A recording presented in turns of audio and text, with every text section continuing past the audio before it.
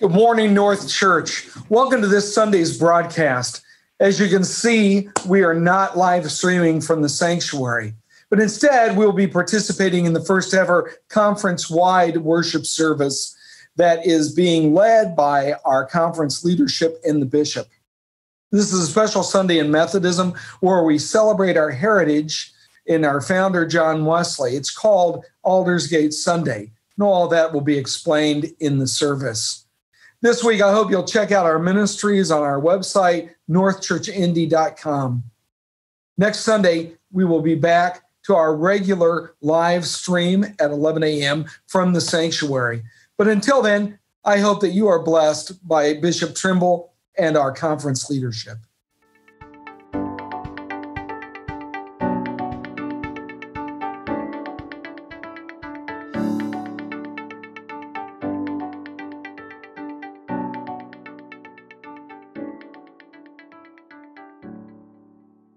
This is a strange time.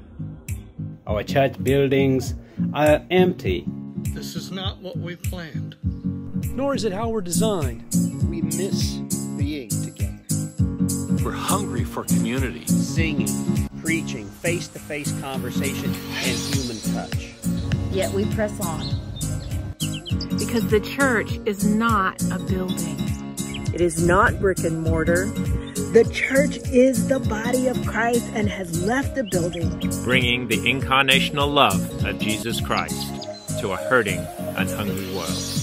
We are Indiana we are United Indiana Methodist. United We are Indiana. We are United Indiana Methodist. United Methodist. We are Indiana United We are Indiana United We Methodist. are Indiana United We are Indiana United Methodist. We are Indiana United Methodist. And the church is still alive.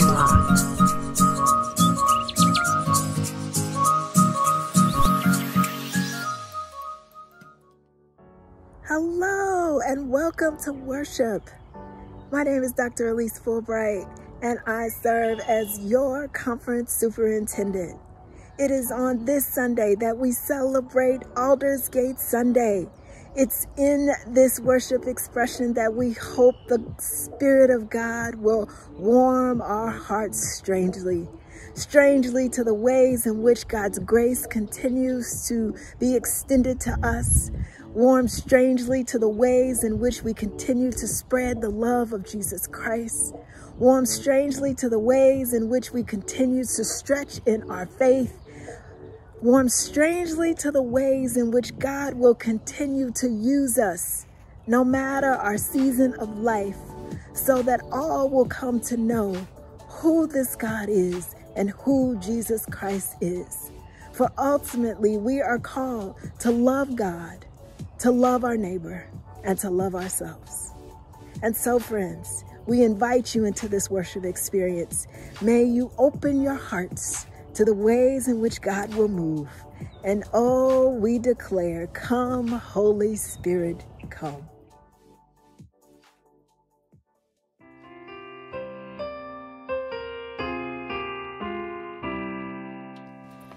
Here in this place, new light is streaming. Now is the darkness vanished away. See in this space our fears and our dreams brought here to you in the light of this day. Gather us in the lost and forsaken. Gather us in the blind and the lame. Call to us now, and we shall at the sound of our name.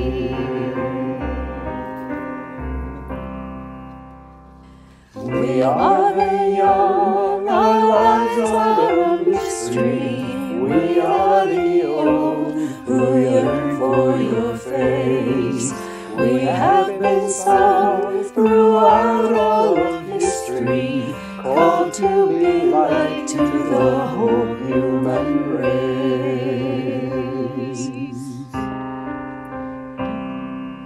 Gather us in, the rich and the haughty. Gather us in, the proud and the strong. Give us a heart so meek and so lowly. Give us the courage to enter the song.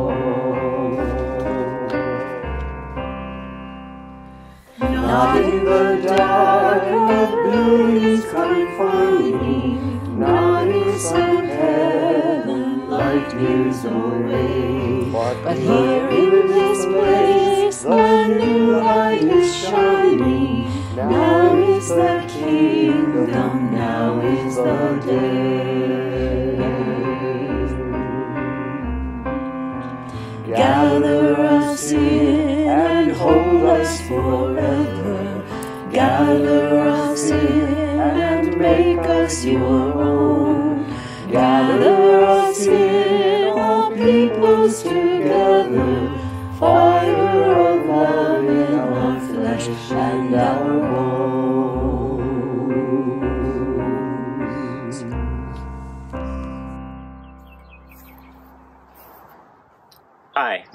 Dave Neckers, Conference Superintendent of the Northeast District. Won't you pray with me? Our Heavenly Father, we come to you today in the name of Jesus Christ, and we thank you and praise you. We worship you. We bless your holy name. You are worthy to be praised. And Lord, as we gather together today, we are so thankful that your Holy Spirit that is with us transcends time and distance. And so, Lord, as we gather together to worship you, we praise you. And not only do we praise you, Lord, we thank you as we wait patiently, patiently for you. And you hear our cries. You hear the cries of those who are lonely, those who are grieving, those who are afraid. And so, Lord, I just trust that your Holy Spirit would come to each and every one of those under the sound of my voice who are feeling those things. And God, that you would touch them and bring healing and bring peace and give them rest. And now, as our Lord and Savior Jesus Christ taught us, won't you join me in the prayer he taught his disciples? Our Father, who art in heaven, hallowed be thy name. Thy kingdom come, thy will be done on earth as it is in heaven. Give us this day our daily bread, and forgive us of our trespasses, as we forgive those who trespass against us. And lead us not into temptation, but deliver us from evil. For thine is the kingdom, and the power, and the glory forever. Amen. My name is Sanita Michael. I'm the conference superintendent for North District of the Indiana Conference. I'm reading from Psalm chapter 130, version of New International Version. Out of the depths I cry to you, Lord. Lord, hear my voice. Let your ears be attentive to my cry for mercy. If you, Lord, kept a record of sins, Lord, who could stand? But with you there is forgiveness, so that we can, with reverence, serve you. I wait for the Lord, my whole being waits, and in his word I put my hope. I wait for the Lord. More than watchmen wait for the morning, more than watchmen wait for the morning.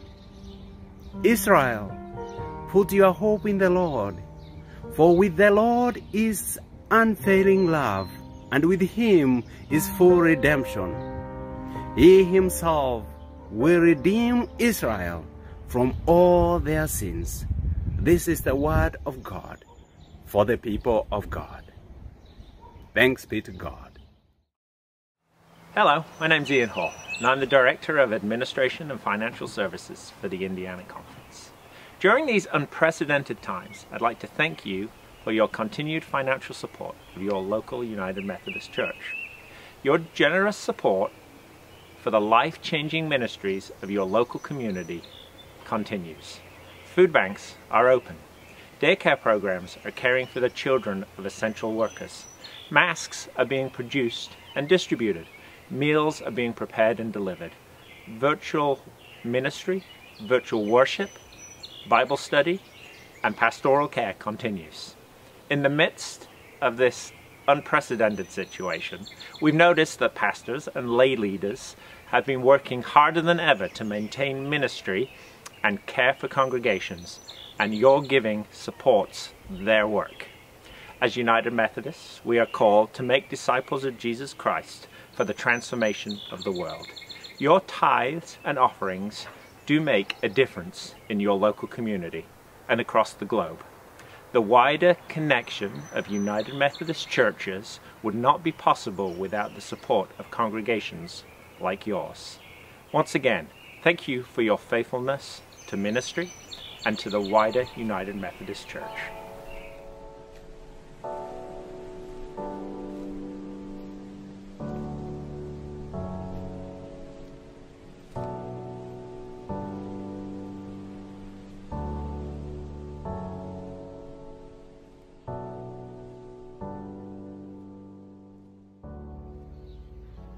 From Emily Reese, your Conference Director of Church Development, from my backyard sanctuary in Whitestown, Indiana, just north of Indianapolis. This is our epistle reading for today from 2 Peter chapter 1, verses 3 and 4. By his divine power, God has given us everything we need for living a godly life. We have received all of this by coming to know him, the one who called us to himself by means of his marvelous glory and excellence. And because of his glory and excellence, he has given us great and precious promises. These are the promises that enable you to share his divine nature and escape the world's corruption caused by human desires.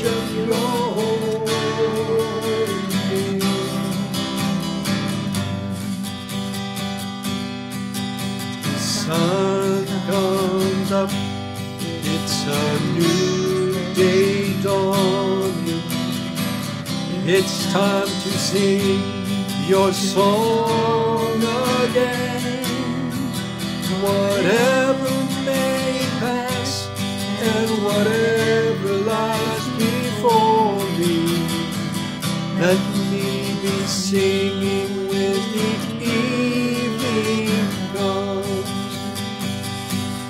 Bless the Lord, oh my soul, oh my soul, worship His holy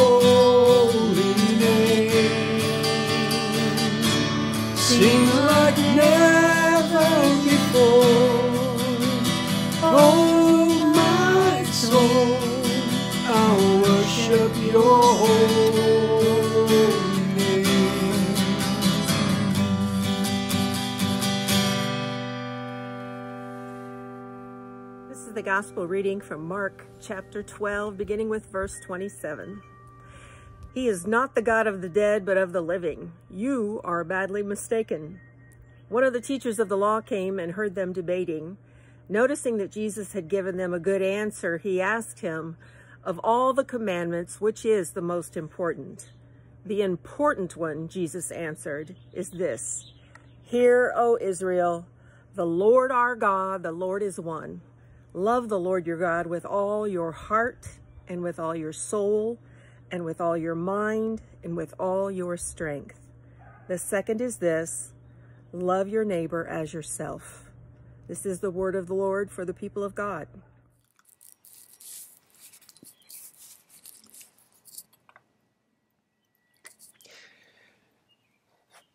John Wesley had been a priest in the Church of England for all of his adult vocational life. But it wasn't going well.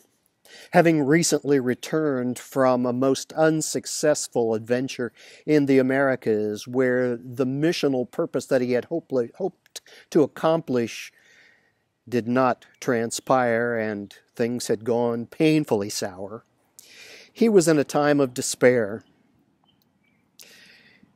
the only consolation that he sensed at that particular time in his life came from the companionship of a group of Moravian Christians whom he had come to know on the journey over.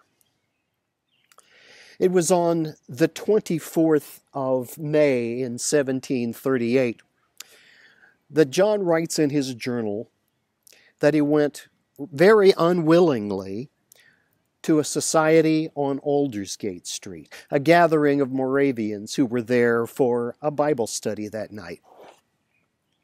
It was about a quarter of nine, he writes, when one was reading from the Epistle to the Romans, when Wesley says, I did find my heart strangely warmed. And I knew that I could trust in Christ, Christ alone, to take away my sins, even mine. It seems so understated as we read it on print. And yet, what we know is this was the transformative, the conversional moment in John Wesley's life when, in fact, the ministry that he had been about for the entirety, entirety of his life actually came to life. It caught fire and what became the Methodist movement was kindled on that particular moment. The most striking thing about that episode, at least to me, is that he went so unwillingly that night. The most transformative moment in his life came as a result of going someplace he didn't want to go. I look at my own life, and maybe you can relate to this too. So often, places I have preferred not to go. When I arrived, I found that Jesus was waiting there for me, and that it became for me one of those pivotal, transitional, conversional moments in my experience. My name is Mitch Gieselman. I am the conference superintendent assigned to the fabulous Southwest District of our Indiana Conference. I'm coming to you from my backyard. You know, as I contemplate this peculiar situation that we're in, this pandemic dilemma that we face, it may well be that we find ourselves in places we would prefer not to as much as I am at home here in my backyard. It's not where I would choose to be on Sunday morning. And so many of us doing our worship by live stream or YouTube or whatever think to ourselves, if only I could be in church. Whether you are this day where you want to be or not, my prayer for you is that somehow you will experience the warmth of the Spirit's fire. That the same Spirit that brought to life the apostles and gave birth to the church, the same Spirit that warmed the heart of John Wesley and kindled our Methodist movement, will somehow spark a fire in your life. That you will look back on this day as a transformative one in your experience. And that you will always remember this as a time when God was uniquely present, even in the most extraordinary of circumstances. Bishop Julius Trimble came to Indiana to lead the United Methodist Church in September of 2016. As our bishop, he's embraced the people of Indiana. He's made Indiana his home, and he's passionately shared his love for Jesus Christ in all corners of our state. On a personal note, I've been incredibly blessed to have seen him lead with grace and excitement in our churches and with our pastors as he lives out his desire to that each one of us would be encouraged.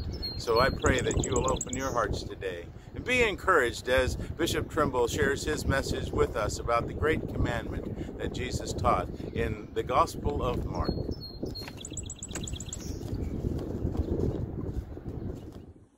The Lord be with you.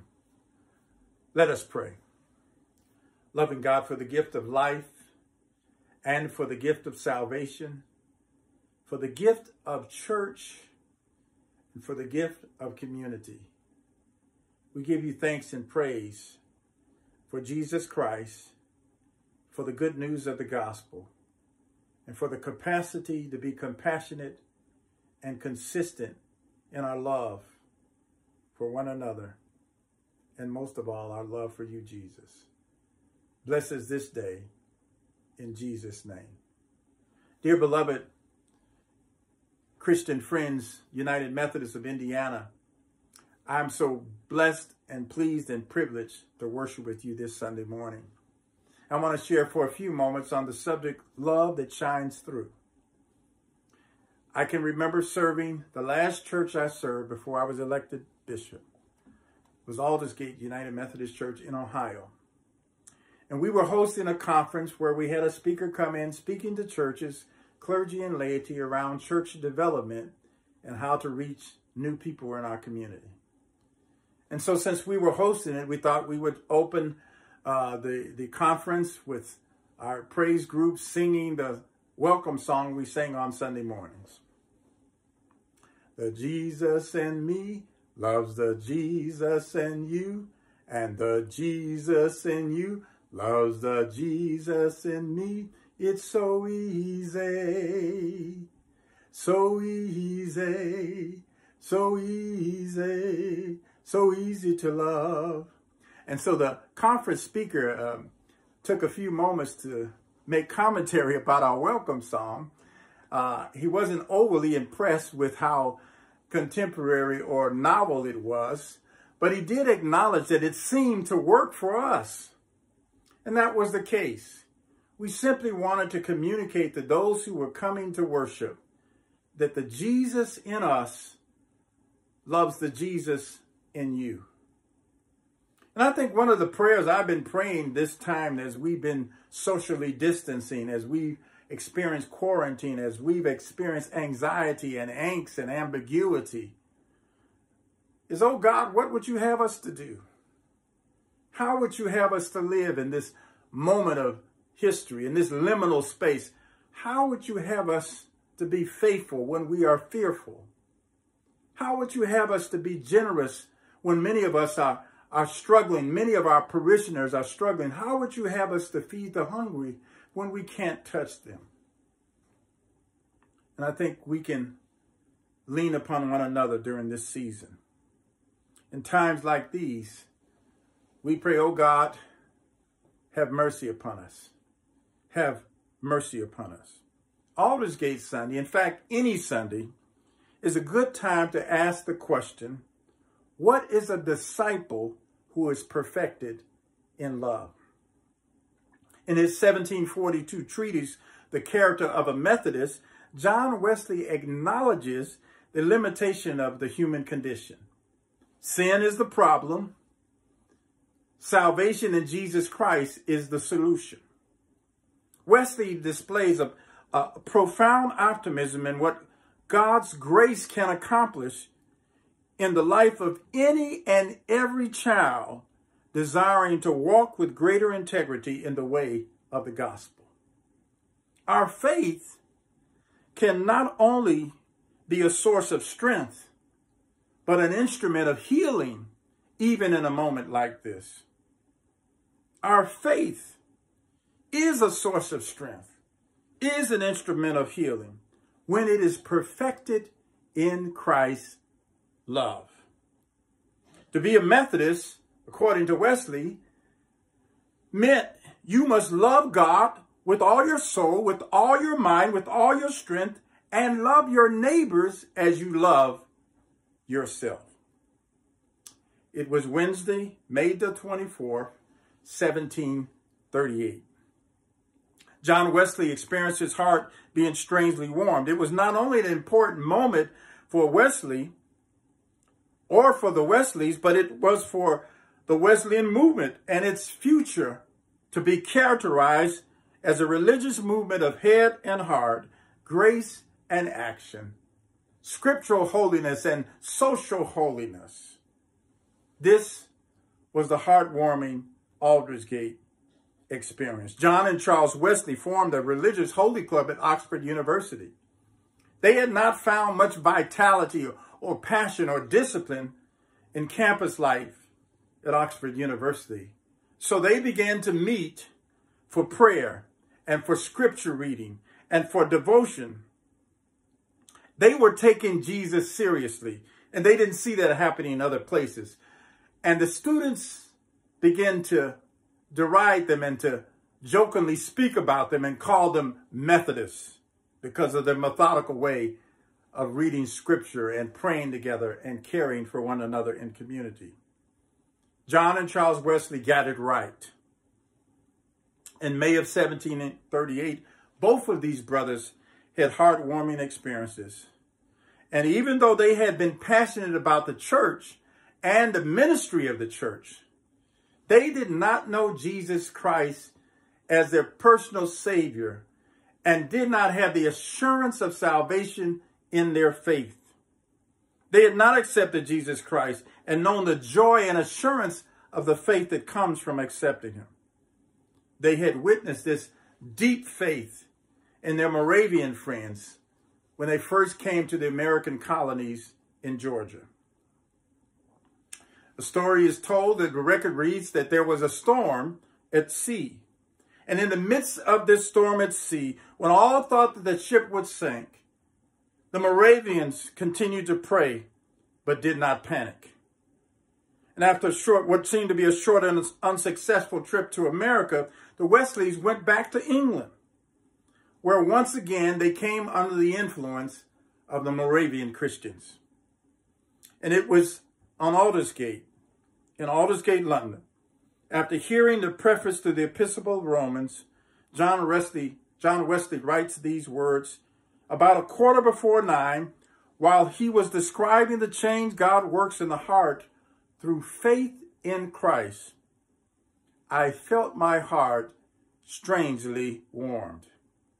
I felt I did trust Christ and Christ alone. I trusted Christ for salvation, and assurance was given me that he had taken away my sins, even mine, and saved me from the law of sin and death.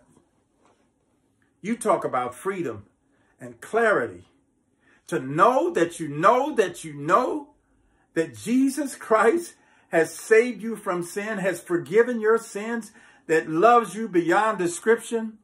You talk about freedom. You talk about clarity. You talk about a, a, a deep foundation for faith. The power of the Holy Spirit was at work in Wesley's heart so that he might hear the gospel, they might hear the gospel, and we might experience the gospel in a new way. I want to talk about love that shines through. Love that shines through. The Great Commandment story is told in the gospel lessons, and this is from Mark, the 12th chapter. First, I'm going to read a little bit from the Common English Bible and then some verses from the Message Bible, Eugene Peterson's. One of the legal experts, verse 28, Mark 12. Heard their dispute and saw how well Jesus answered them. And he came over to ask a question, which commandment is most important of them all? Jesus replied, you know the answer to this. The most important one, Israel, listen. O God is the one Lord. And you must love the Lord your God with all your heart, all your being, with all your mind, with all your strength. The second is this. You will love your neighbor as yourself. No other commandment, no other commandment is greater than these. The legal expert said to Jesus, Well said, teacher. You have truthfully said that God is one and there is no other besides him, and to love God with all of our heart, a full understanding, and all of one's strength, and to love one's neighbor as oneself is much more important than all kinds of entire, entirely burned offerings and sacrifices. When Jesus saw that he had answered him with wisdom, Jesus said to him, You aren't far from God's kingdom. And after that, no one dared to ask him any other questions. Eugene Peterson puts it this way The Great Commandment. One of the religion scholars came up, hearing lively exchanges of questions and answers, and seeing how sharp Jesus was in the answers, he put him to this question Which is most important of all commandments? Jesus said the first is important. Listen, Israel, the Lord your God is one. So love the Lord with all your passion, passion, and prayer, intelligence, and energy. And here's the second love others, love others, love others as well as you love yourself. There's no other commandment that ranks with these. The religion scholar said a wonderful answer, teacher, so lucid and accurate that God is one and there is no other, and loving him with all passion and intelligence and energy, and loving others as well as yourself. Well, that's better than all the offerings. That's better than all the sacrifices put together. When Jesus realized how insightful he was, he said, You are almost there, almost there right on the border of God's kingdom. After that, no one else dared ask a question. So, what commandment is the first of all?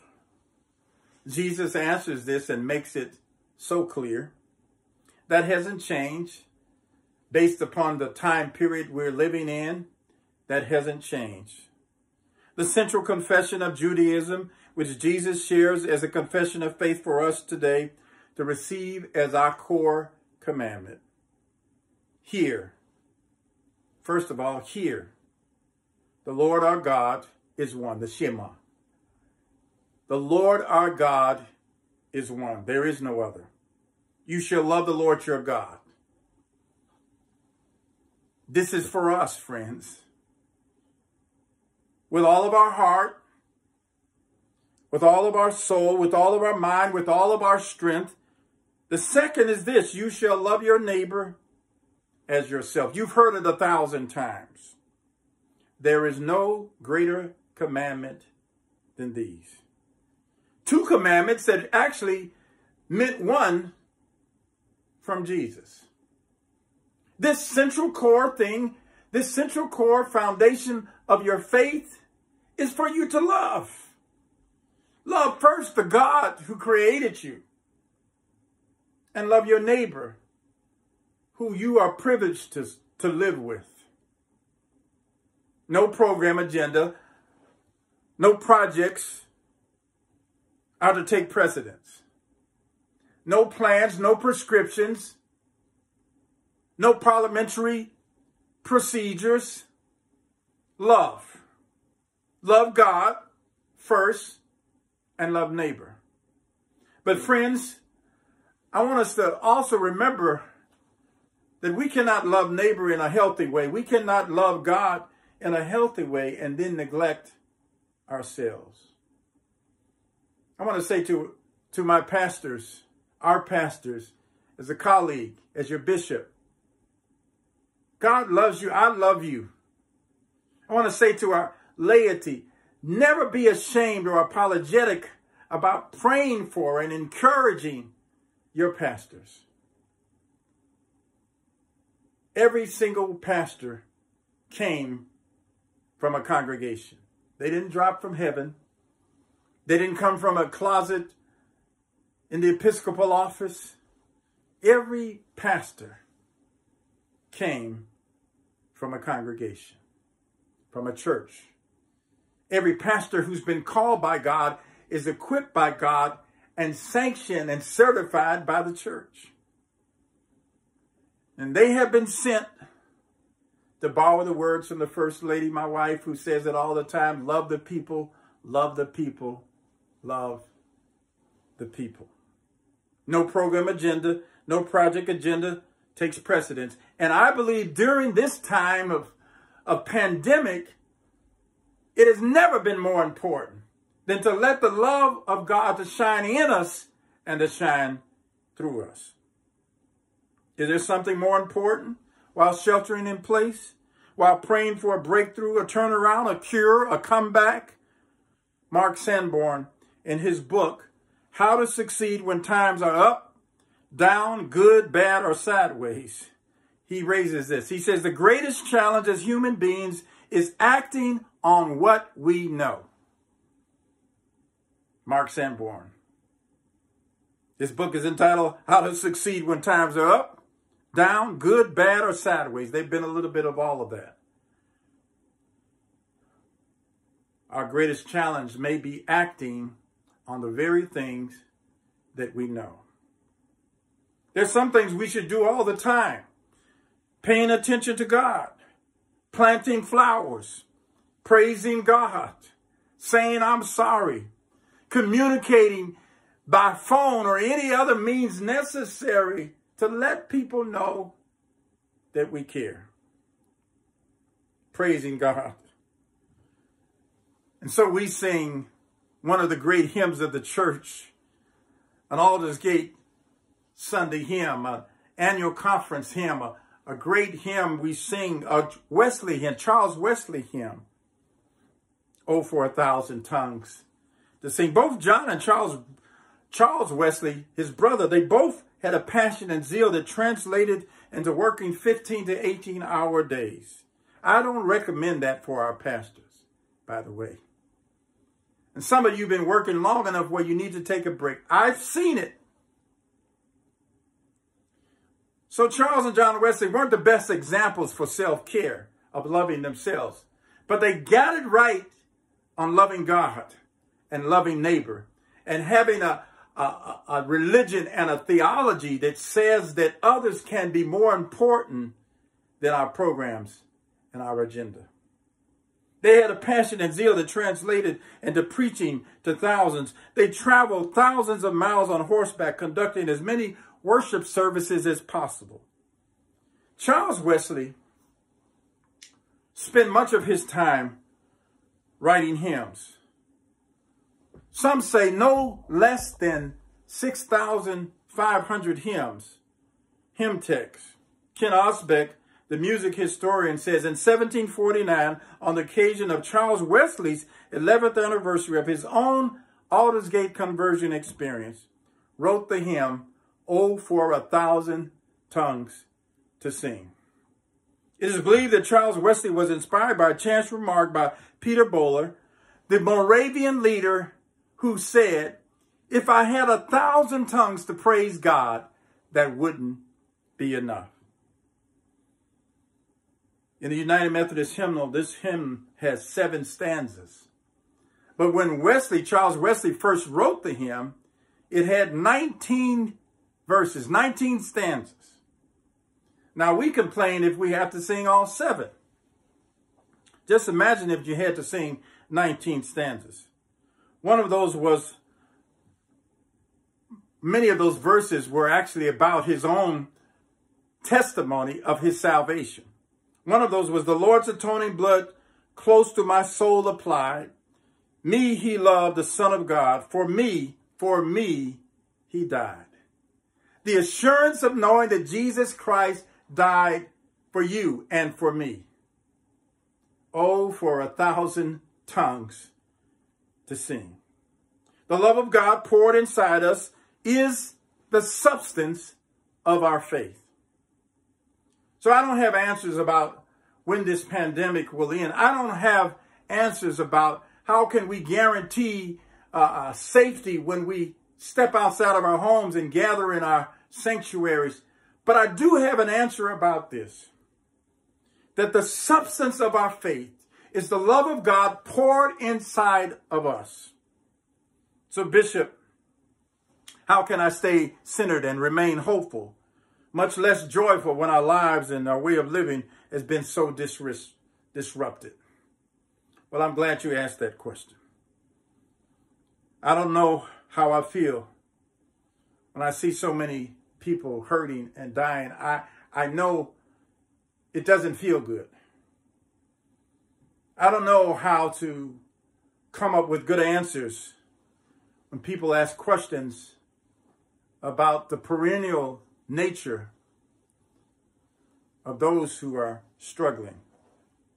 But by grace, I know this we mean love that comes to us and love that shines through us.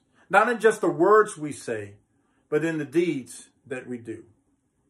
So I'm always inspired. I'm always inspired by Leslie Bledsoe, who's the wife of uh, one of our bishops in the United Methodist Church, Bishop Bledsoe from New Mexico and Northwest Texas.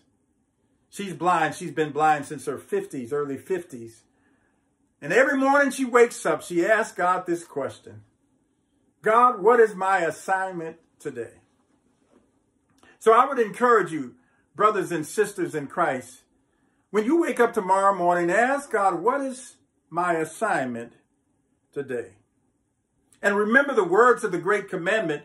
There is only one Lord. Love the Lord your God, not just a little bit, not just a little while, but love the, Lord your God with all of your soul, with all of your heart, with all of your mind, with all of your strength. A short commandment with a long commitment, a deep commitment. If I had a thousand tongues, I would praise God for being God. I would praise God for loving me. I would praise God for loving you if I had a thousand tongues. I would praise God for you being the church. I would praise God for pastors and the way in which you've been faithful. I would praise God for church leaders and the way in which you have been supportive and faithful. If I had a thousand tongues, I would praise God for just being God. If I lived in Japan, I would probably say arigato. If I lived in France or the Democratic Republic of, of the Congo, I probably would say merci. If I lived in Nigeria, I might say nagote. If I lived in Tanzania or Kenya, I might say asante. If I resided in Germany, I might say dakasha. If I lived in Brazil, I might say obrigado. If I was Korean or it was my native language, I might say kamse hamneda yesuni. If I spoke Spanish as my native language, I would say gracias Jesus. But since I live in central Indiana, and I worship in the north of Indiana and the south of Indiana and the northwest and the, and the east of Indiana, all across this state, I simply say thank you. Thank you. Thank you, God, and thank you, Jesus. Thank you, pastors, and thank you, lay leaders. Thank you, churches, for your generosity. Thank you for worshiping faithfully online. Thank you for keeping your social distance. Thank you for feeding the hungry. Thank you for clothing the naked. Thank you for not giving up or giving out or quitting or stopping. Thank you, people, to the doctors, I say thank you. To the nurses, I say thank you. To the trash collector who came by this morning, I say thank you. To the truck drivers, I say thank you. To the church clerks, I say thank you. To the grocery cashier, I say thank you. To the people that we overlook, the people that we undercount, the people that sometimes we dismiss. I say thank you, God, for showing us that if we love God, we must also love neighbor. And if we love neighbor, we must also love self. So, dear friends, I'm looking for that love that shines through us so that our kindness may become contagious. Our generosity might be outrageous. Our faithfulness might be timeless. And our compassion might be endless.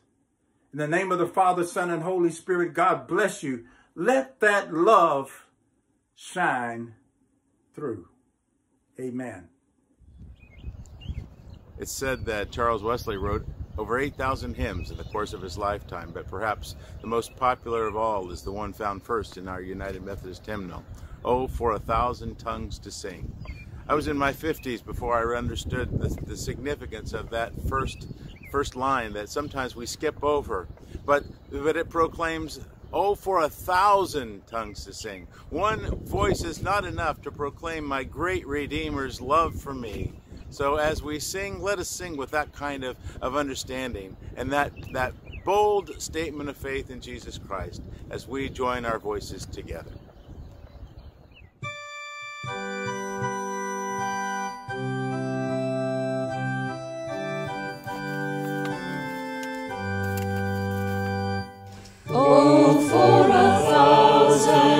To sing my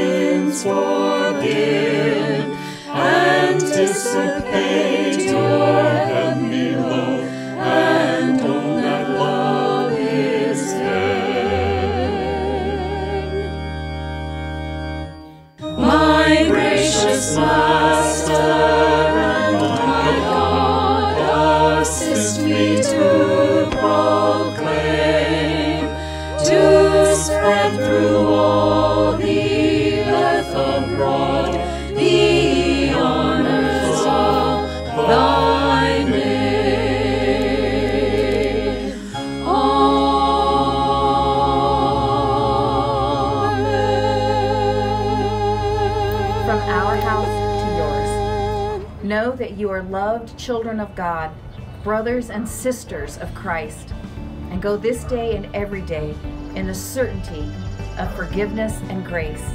Share that truth with all who will listen. May peace be with you until we meet again.